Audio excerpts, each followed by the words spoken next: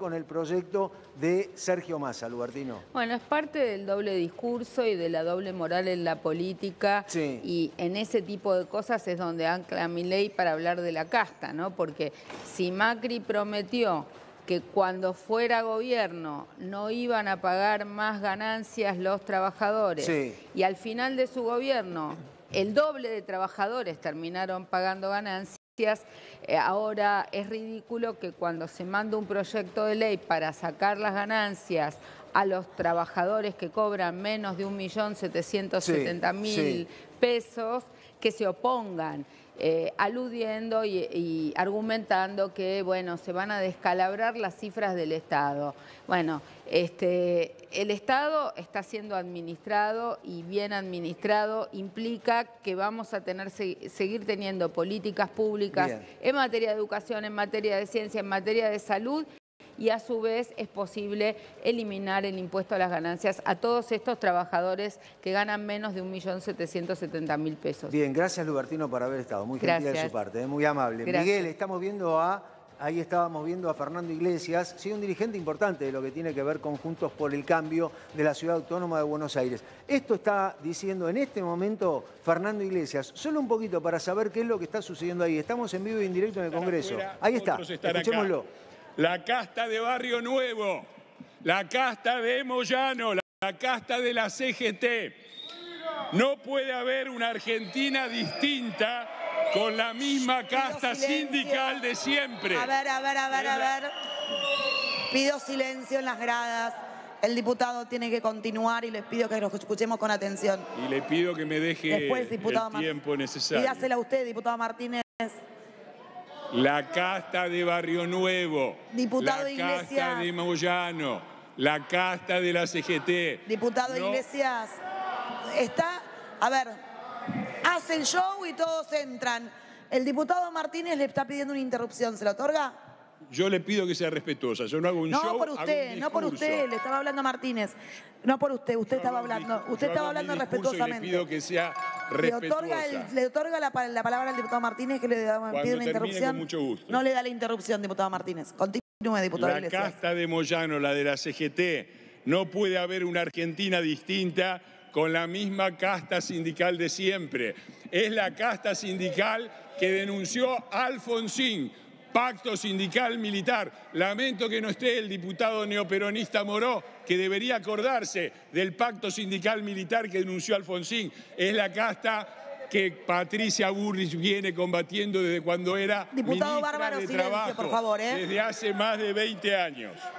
Es la casta sindical que ayudó a derrocar a De la Rúa cuando la pobreza era del 38% y hoy está en 43% y se hacen todos los boludos. Se lo digo en francés. No sea maleducado. Los boludos.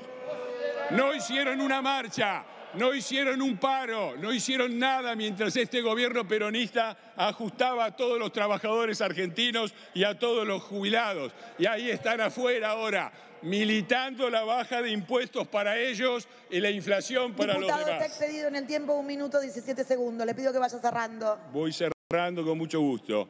Es la casta sindical, estúpido, la que no representa a los trabajadores, ¿eh? sino al peronismo. La casta sindical que no representa a los trabajadores, sino al peronismo, que llegó al gobierno y llegó a la política argentina prometiendo acabar con todas las oligarquías y se transformó en la peor de las oligarquías, en la casta peronista que está fundiendo al país.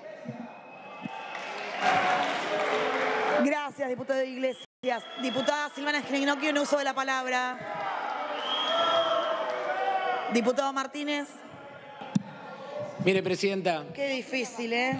¿eh? Ahí está, ahí estamos escuchando lo que tiene que ver con diputados. El jefe de bloque, ahí está Germán Martínez. Sí, el presidente del bloque de Frente de Todos, de Santa Fe. Tratan proyecto de ley. Se acaban de pelear en el Congreso, Miguel. Se acaban de pelear ahí en el Congreso. ¿Qué es lo que pasó? Se están disputando quién se enfrenta contra la casta. ¿Se pelea contra la casta Juntos por el Cambio o enfrenta a la casta Javier Milei? ¿Quiénes son quiénes son los que más se van a enfrentar a la casta. Bueno, eh, acá Fernando Iglesias se aprovecha de dos cuestiones. Primero, de eh, plantearle una crítica muy fuerte a los sindicalistas más importantes porque no hicieron marchas contra el gobierno de Alberto Fernández. Pero además, de manera indirecta, le está pegando un poco a Javier Milei, porque Milei tuvo algún acercamiento contra los sindicatos más importantes, no se muestra combativo con los sindicatos y es la bandera que tiene Patricia Bullrich y Juntos por el Cambio. Un enfrentamiento muy fuerte a determinados sindicatos, por ejemplo a Moyano y a Luis Barrio Nuevo. Bien, mientras esto sucede en diputados, Nati, sí, muchas preguntas, nos llegan preguntas que tienen que ver con esto del bono de 45 mil pesos. Este bono se divide en tres, 15, 15 y 15, octubre, noviembre y diciembre, ¿verdad? Exactamente, Carlitos, lo van a estar cobrando. Es una tarjeta alimentar para los jubilados, pensionados, pensiones no contributivas y PUAM y todos los beneficiarios que tengan PAMI mayores de 60 años. Va a ser automático. Muchos me consultan en septiembre por qué no lo cobraron, porque lo van a empezar a cobrar a partir de octubre. ¿Es compatible con los otros bonos? Sí, vas a cobrar el bono de 37 mil, más el bono de 15 mil del alimentar, más los 18 mil pesos de devolución de IVA.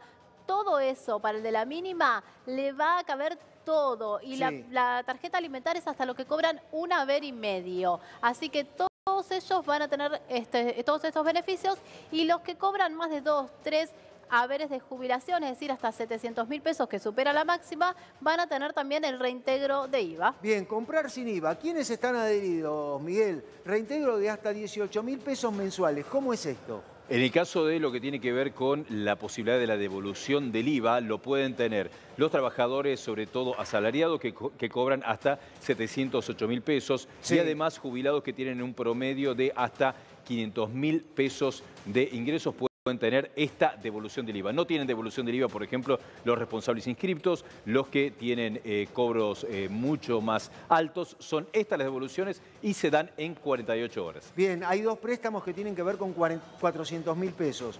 Uno, Nati, es del ANSES. Exactamente. ¿Y qué es eso? Este cuento, un beneficio que se dio ya hace un mes para los jubilados y pensionados por viudez de 400 mil pesos. Ahora, también pueden sacar un préstamo los pensiones no contributivas de 150 mil pesos. ¿Hasta cuándo tenés tiempo? Hasta diciembre. Obviamente tiene que ver si tenías o no un préstamo anterior. ¿Por qué? Porque si de repente te habías sacado 200 mil pesos, el cupo va a ser menos. Te van a dar los 200 mil restantes, ¿sí? De la diferencia. Esto también lo podés simular a través de la página ANSES. Ingresás con mi ANSES, con tu clave, vas a decir en el programa de créditos cuánto querés sacar y el programa mismo te va a simular cuánto te queda y en cuántas cuotas y cuánto te van a cobrar y también si tenés un préstamo anterior, cuántas cuotas te quedan por pagar. Esto tiene que ver con los 400 mil de ANSES. Ahora, Miguel, hay otros 400 mil pesos, otro préstamo, sobre todo que tiene que ver con el pago de las tarjetas, porque muchas personas se endeudaron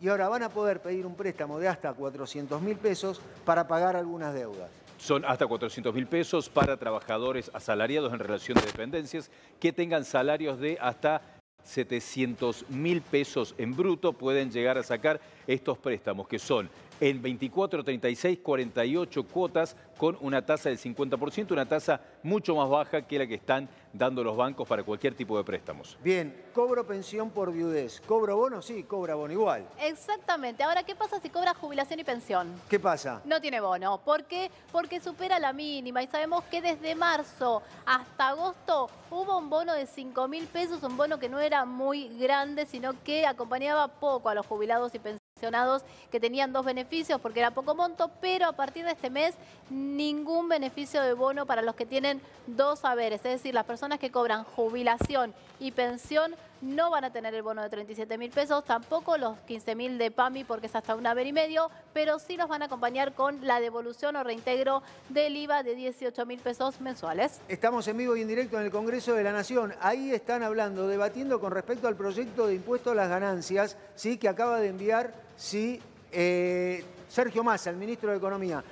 Estamos viendo lo que sucede ahí en Congreso. Tiene que ver con una diputada de Catamarca. Ahora vamos a ir ahí al Congreso de la Nación para escuchar qué es lo que dicen. Mientras tanto, Miguel, siguen pensando en nuevas medidas y se acercan nuevas medidas para ayudar al bolsillo. Sí, algunas de las nuevas medidas tienen que ver con esto que te decía, la posibilidad de que los responsables inscriptos, los autónomos, puedan no pagar el porcentaje de IVA de la facturación en septiembre, octubre, noviembre, diciembre, paguen menos en ganancias y puedan tener una devolución si hacen un pago de los bonos en el caso eh, esta suma fija cuando, son, eh, cuando tienen algunos empleados, por ejemplo. Si hicieron este pago de 30 mil pesos y después hacen el otro, el Estado les va a devolver el 100% a los eh, responsables inscriptos. Bien, ahora Nati, el aumento de jubilados y jubiladas de septiembre es 23-29%. 23, sí, 23,29%. Bien, ¿cuál va a ser el próximo? Mira, exactamente, ¿sabes cuándo lo vamos a conocer? No. Mediados de noviembre se da a conocer. ¿Por qué? Porque se basa en los aumentos salariales y la recaudación de ANSES. Es decir, más recauda el país, más cobra el jubilado. No está atado a la inflación, lo cual no es malo. ¿Por qué? Porque si el país crece y la inflación baja, el jubilado puede ganar la inflación y cobrar mucho más. Ahora, ¿qué está pasando últimamente? Obviamente el país no crece tanto y la inflación un montón. Pero la ley de movilidad que existe hasta ahora y que va a seguir vigente en diciembre está atada a la recaudación de ANSES y a los aumentos de salario. Así que, ¿cuánto podrá ser? Supongo que algo parecido a la inflación igual. ¿Por qué? Porque el aumento de los salarios se basa en la inflación, así que rondará ¿En un 30%? Alrededor de un 30%. Este mes, o el último trimestre, 23,29%. ¿Sí? En diciembre va a estar el próximo aumento, no se sabe exactamente cuánto va a ser. Hay más preguntas. ¿De cuánto es el bono para los que tenemos PNC? El bono para pensión no contributiva es el mismo que para los jubilados y pensionados de la mínima, 37 mil pesos. Primero se dio a conocer un bono de 27 mil. ¿Qué pasó? Con la devaluación lo incrementaron 10 mil pesos más, por lo cual te queda en 37 mil pesos para las pensiones no contributivas. Recordemos que también las madres de siete hijos que tienen pensión no contributivas cobran la alimentar que también quedó con aumento y también tienen el bono y la devolución del IVA. Y si están adheridas al plan de PAMI podrán cobrar a partir de los 60 años el tema del alimentar. Ahora, Nati, los jubilados y jubiladas que tienen débito también reciben esa devolución del IVA, más allá de todos los beneficios que tengan. Exactamente. ¿Cuál es la pregunta más frecuente en las redes? Sí. Pero cobro, si cobro el bono, me sacan el alimentar de PAMI, si cobro el alimentar, me devuelven el IVA, bueno, todo va a ser para los jubilados y pensionados según cuánto cobres por mes. Ahí va a estar la diferencia. Si vos tenés la mínima, vas a cobrar el bono de 37 mil. Si tenés un haber y medio, es decir, hasta 130 mil pesos, una mínima y medio, vas a cobrar los 15 mil de PAMI si tenés a partir de 60 años.